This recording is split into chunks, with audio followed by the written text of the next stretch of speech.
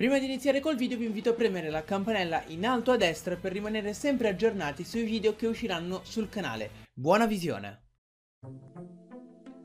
Ne abbiamo parlato molto prima e dopo l'uscita di Pokémon Sole e Pokémon Luna. Gli abbiamo dato un'importanza forse esagerata e ne abbiamo frainteso totalmente il nome. Ma alla fine, chi diavolo è questo Marshadow?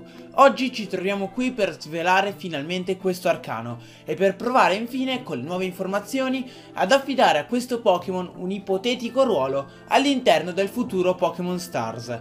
Iniziamo questa breve teoria ricordando il tipo di questo Pokémon, un tipo che lasciò molti di stucco, ossia Spettro Lotta, una combinazione che contraddisse totalmente chi ipotizzava un Pokémon completamente diverso, abbiamo visto una chimera a due teste, un Pokémon di tipo acqua, insomma, alla fine ci siamo ritrovati con un fantasmino all'apparenza innocuo, ma è proprio dai tipi che questo Pokémon ha che possiamo risalire alla sua origine. Spettro Lotta.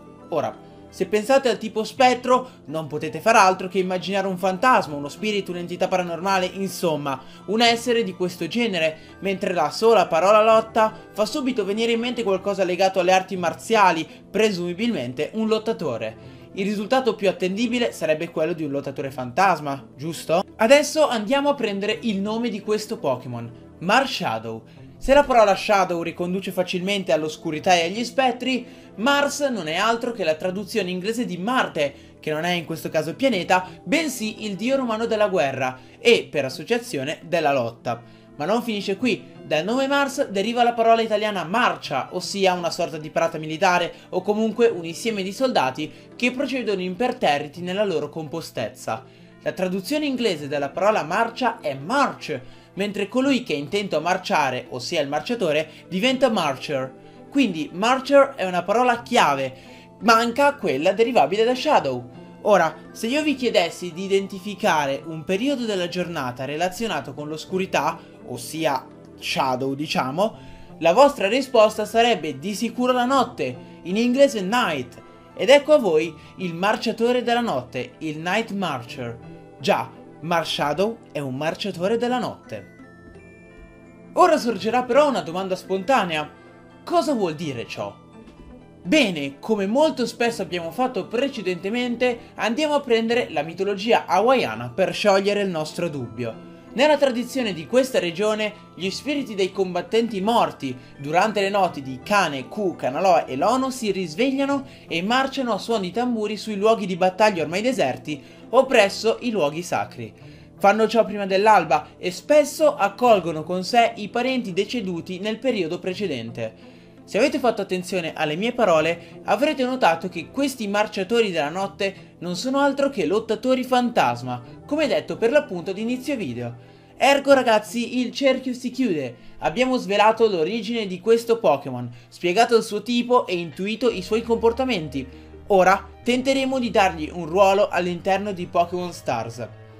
Dunque, Kane, Ku, Kanaloa e Lono sono quattro divinità hawaiane legate strettamente tra di loro, che potremmo far tranquillamente risalire ai quattro tapu della regione di Alola.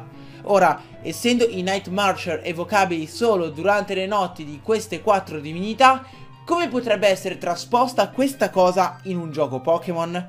Può essere che questo nuovo Pokémon, solo di recente annunciato, possa essere ottenuto dopo aver catturato i 4 Tapu in un particolare luogo, ad esempio? Oppure, ancora più azzardata come ipotesi, potrebbe essere il Pokémon che lega questi Pokémon leggendari. Insomma, Marshadow può essere una sorta di chiave di volta per il prossimo gioco Pokémon?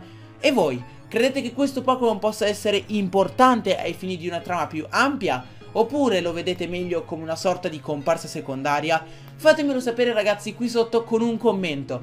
Prima di concludere questo video volevo lanciarvi una sorta di sfida nei commenti, ossia con le informazioni che ho riferito diciamo in questo video, vi sfido a scrivere delle descrizioni del Pokédex per Marshadow e Se la cosa andrà bene e vedo che ce ne sono tante di belle, farò un video a riguardo in cui leggerò magari le migliori. Spero che questa idea vi sia piaciuta e spero che in generale il video vi sia piaciuto. Se è così vi invito come al solito a lasciare un bel mi piace, un commento qui sotto e un'iscrizione al canale se non siete ancora iscritti. Mi raccomando passate dai social per rimanere sempre aggiornati sulle attività al di fuori del canale e premete la campanella in alto a destra per ricevere i feed che YouTube manda. Detto ciò noi ci becchiamo in un prossimo video.